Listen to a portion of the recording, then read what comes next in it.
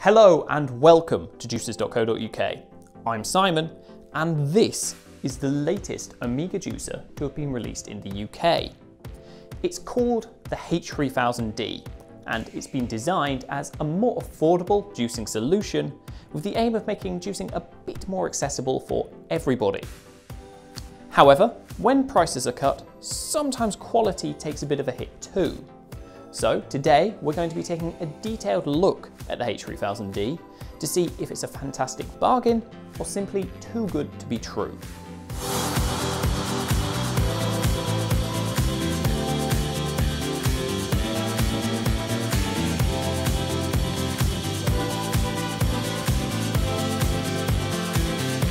Now, first and foremost, the H3000D is a juicer. Therefore, to be of use to anyone, it needs to be good at extracting juice. Luckily, as per our testing, it doesn't fall over at that first hurdle.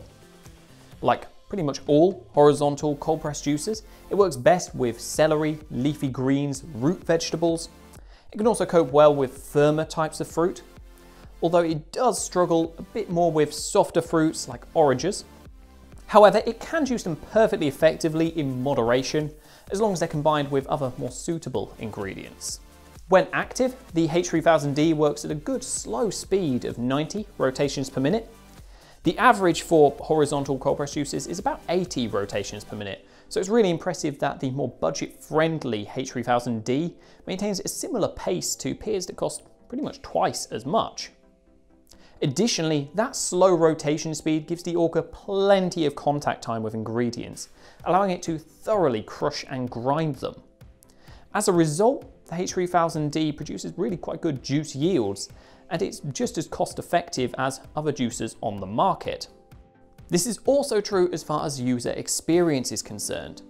Ingredients are easy to drop down the feed tube thanks to the attached funnel, and the auger readily accepts them and crushes them without much assistance.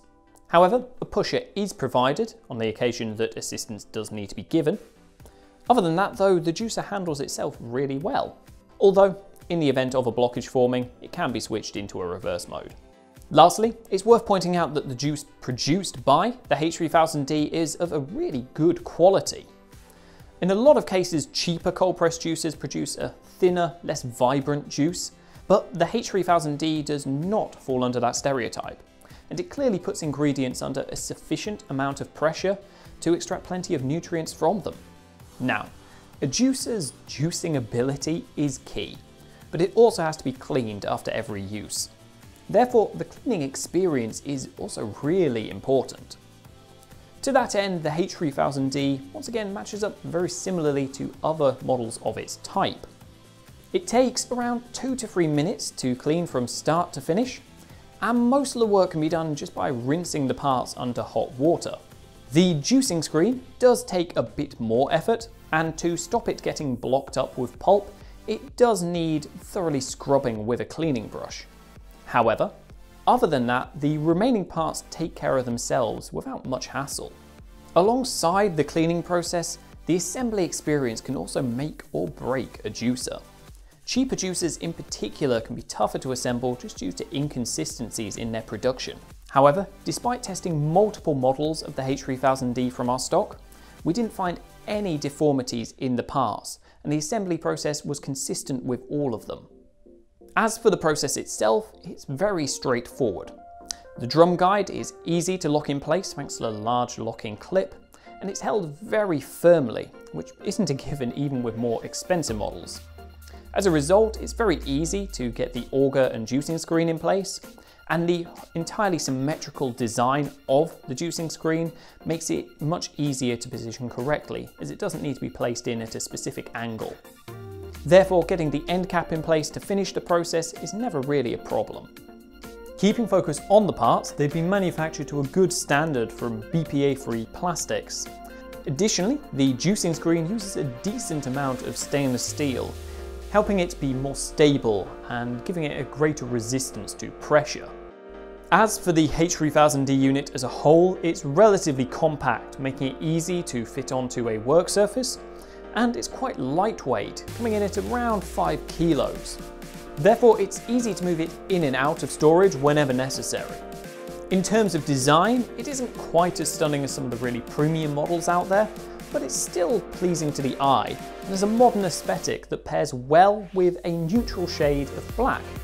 Therefore it can fit into most kitchen environments, however it doesn't draw too much attention to itself. Finally, let's turn our attention to the accessories included in the box with H3000D.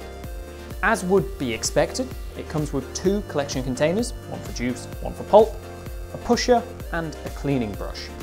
However, as a less predictable addition, it also comes with a second juicing screen that can be used as a substitute for the first if it ever gets damaged.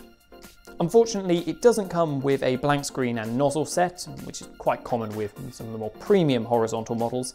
However, considering the price and purpose of the H3000D, that loss is insignificant at best.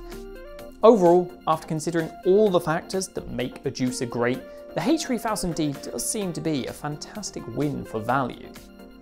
Admittedly, it doesn't have all of the fancy flares and features that come with a lot of its more expensive peers.